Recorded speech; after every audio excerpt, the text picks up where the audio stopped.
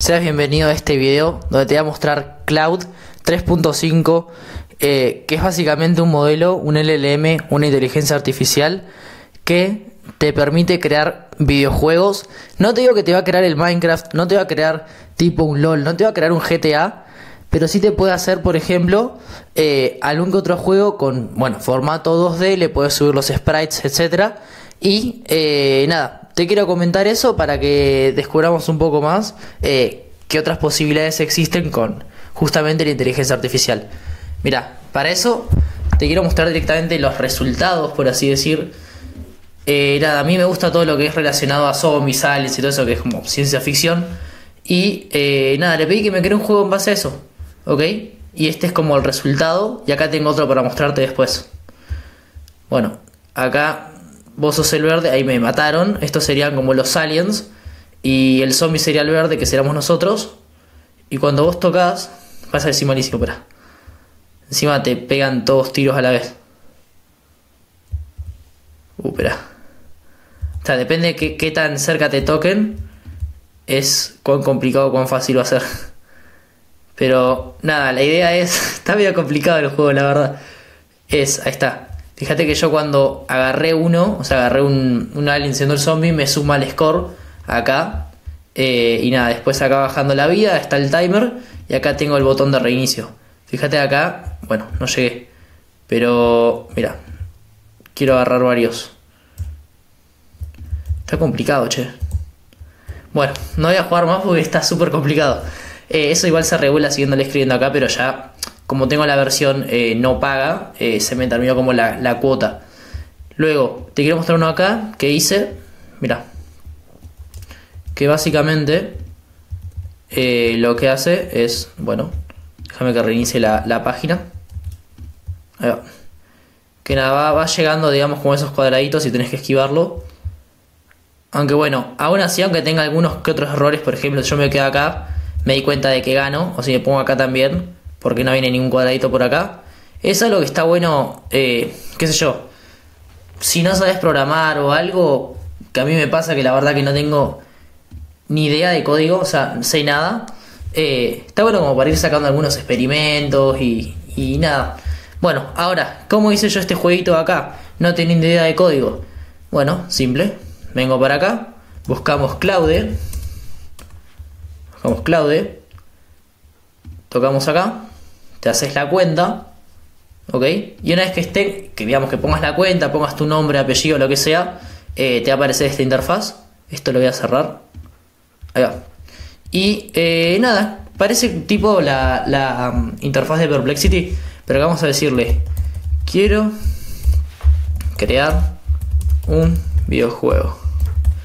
Y acá, esto fíjate que tiene una sección acá abajo, si haces clic en, en, este tipo eh, recipiente, no me sale el nombre, vas a ver que te aparece Feature Preview, que se llaman Artifacts, ¿ok? Que eso es lo que nosotros queremos ver. Que estos artifacts nos van a permitir a nosotros eh, ejecutar cierto código de manera nativa acá en Cloud. Y es básicamente donde yo hice este jueguito.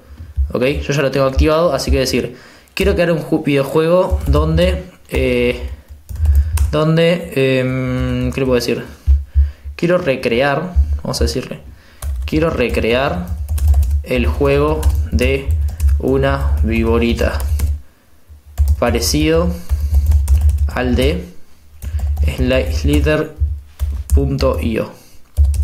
donde cada vez que yo eh, como eh, X círculo gano vida. Ok. Bueno, vamos a pedirle esto. Ahora se nos va a abrir este chat de acá. Está buenísimo, me encanta la animación de esto. Tengo que hacer algo similar. Ok. Acá empieza a correr todo el código al lado. O sea, yo no toqué nada. Eso lo viste porque tengo las manos acá. Eh, pero nada, nos está haciendo básicamente todo el código. Y está la posibilidad que bueno, nos lo pida que lo ejecutemos en BS, BSC, que es Visual Studio Code, o si nos lo permite, esto directamente eh, lo vamos a poder usar acá. ¿Ok? Bueno, ahora voy a iniciar el juego y te muestro. Bueno, ahí sinceramente chicos, estuve eh, hablando un poco con ChatGPT, que me ayuda a importar este juego y todo.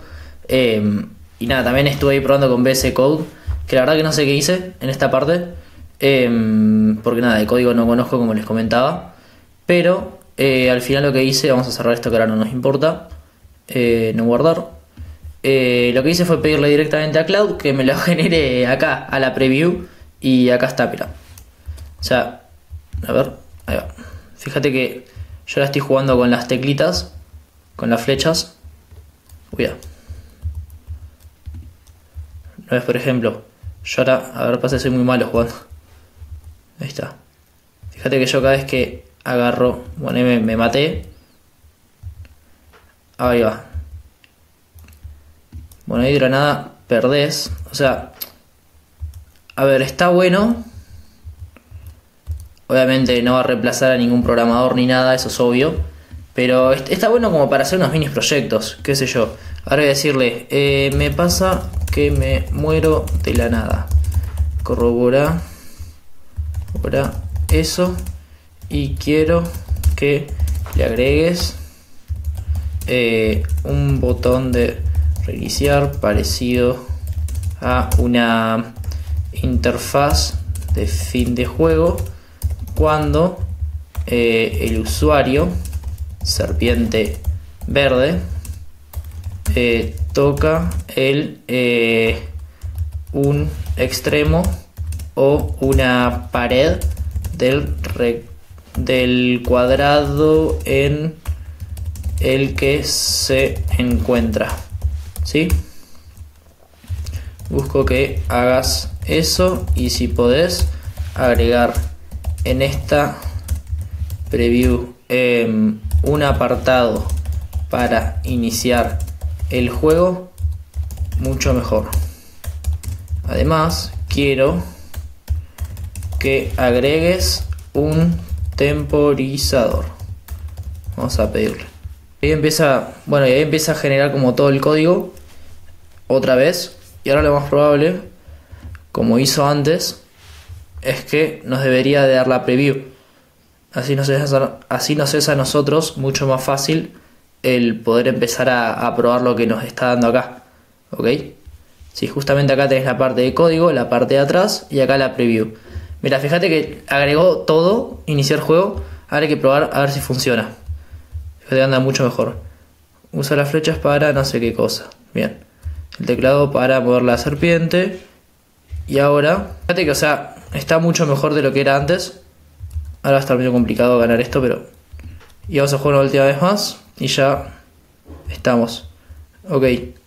Acá bueno nos va agregando el, el score. Y por ejemplo ahora que noto que el time no anda voy a decirle quiero que arregles el time que no está andando y se queda en cero ahora lo mismo o sea es esto es lo que tiene, si bien no, es avanzado, porque o sea, el juego nos está dando la verdad que bastante simple, eh, o sea, es bastante bueno el hecho de que vos le vas escribiendo acá en el chat y directamente según el feedback que vayas recibiendo va modificando el código de atrás y eso después se refleja en esta preview, ¿ok? Ahora el time, fíjate que anda. Bueno, y así es como haces un juego en cuanto en tal vez 10-15 minutos como mucho eh, usando Cloud. Eh, la verdad que yo no la conocía esta herramienta, pero creo que está bastante buena.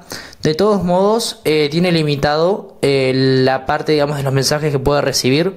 No solamente la ventana de contexto inicial, o sea, la, la, que vos le pones como input de mensaje, pero también, bueno, si no pagas la versión paga, Así como pasa con ChatGPT normal, eh, no te va a dejar mandar muchos mensajes, pero de todos modos, bueno, se, regenera o se eh, recupera y te da el acceso de nuevo para usar este eh, modelo cada, me parece que 5 u 8 horas, pero cada ciertas horas.